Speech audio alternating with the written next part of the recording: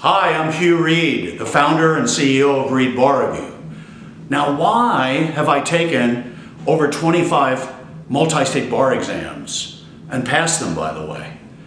The reason I've taken them is because I help servicemen and women around the world in lawsuits or any kind of legal actions they have. Naturally, I'd like to be licensed in as many states as possible.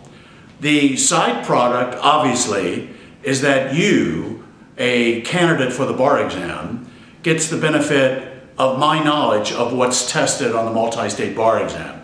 You see over 60 questions are tested from past questions, are repeat questions from past exams for statistical equating purposes. To the extent I can give you the most current information without violating any copyright infractions, that's exactly what I'd like to do.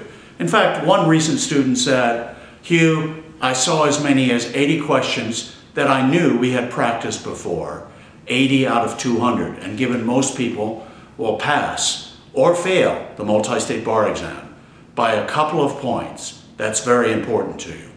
So if we can help you, give us a call, 800-852-3926, or look at our website for all the successful candidates who've taken our bar review. Uh, go to reedbarreview.com and go ahead and register. We'll give you some free materials just so you can check it out.